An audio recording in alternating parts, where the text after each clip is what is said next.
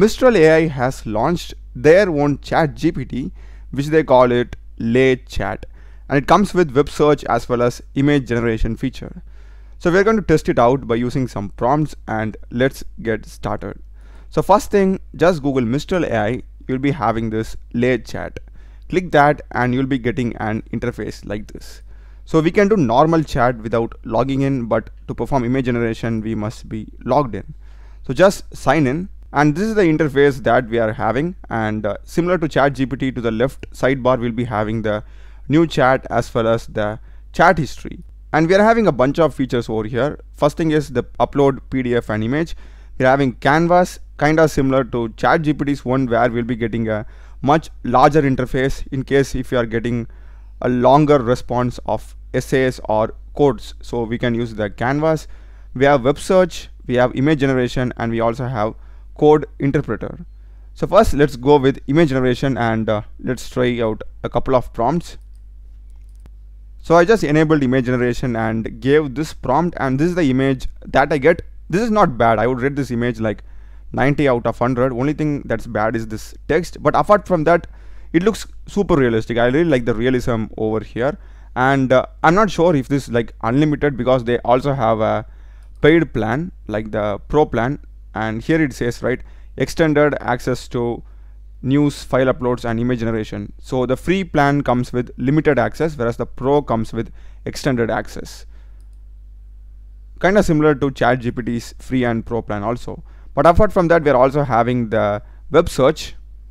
So i will just enable this and ask it a prompt. So i gave the prompt top 10 restaurants in new york city and this is how i get. I'm having the source embedded at the bottom. I'm getting it at the right.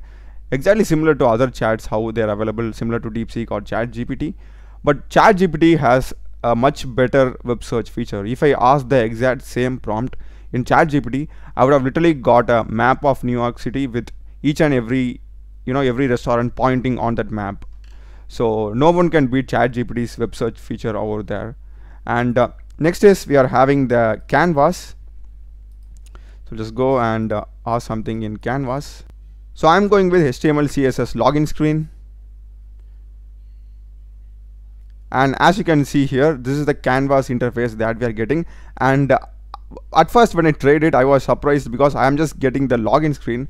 I couldn't see any of the code or responses over here. Then only I found out that we are having this hide preview like thing okay? So if we click this we are getting the code over here. And uh, if you want the preview we are getting the the login screen itself. I like this feature to be honest. And let's see if we can make any changes over here. For example if I go here there is a login. I will just go here and type something like this. This is totally editable and uh, as you saw that right it's totally editable. In case if you want to do a quick edit you can just do it here itself rather than copying and pasting it into your text editor.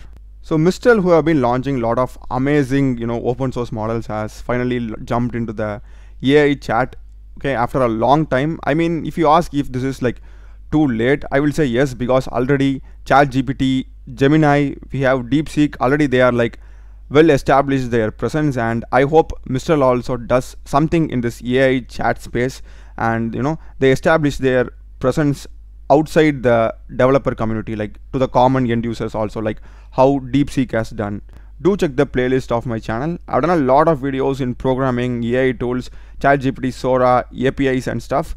Uh, subscribe me. Thanks for watching.